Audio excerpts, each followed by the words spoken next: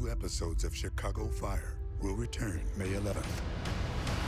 Firefighters always say their house is like a family, but ours actually is.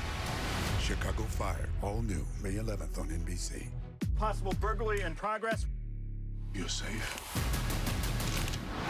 Looks like a home invasion gone wrong. We've rechecked everything. Look, who the hell is the offender? We need proof.